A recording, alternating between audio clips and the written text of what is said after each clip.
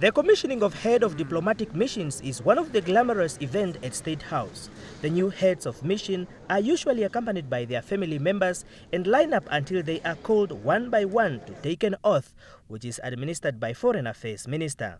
Mbapeua Muvangua has been directing this kind of event since 2006 as chief of protocol, but today he stood on the other side of the red carpet with his family as President Pohamba dispatched him to represent Namibia in Botswana. He replaces the long-serving High Commissioner Hadino Hishongwa, who is going into retirement. The new missions are in the Congo Republic that will be headed by Police Deputy Inspector General for Operations Vilho Hifindaka, Ghana by career diplomat Charles Joseph, and Senegal by Trudy Amulungu, who is currently Namibia UNESCO Commission's delegate to the UNESCO office in Paris.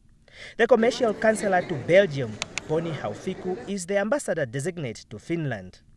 The president urged the new ambassadors and high commissioners designate to serve their country with integrity and commitment.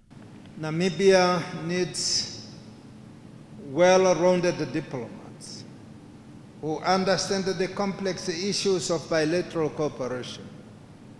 It is your duty to equip yourself with such capabilities as heads of mission.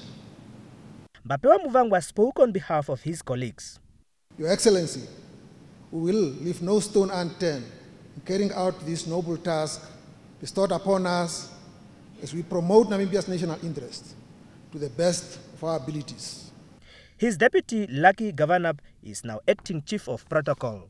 Tonateni Shidudu, NBC News, State House.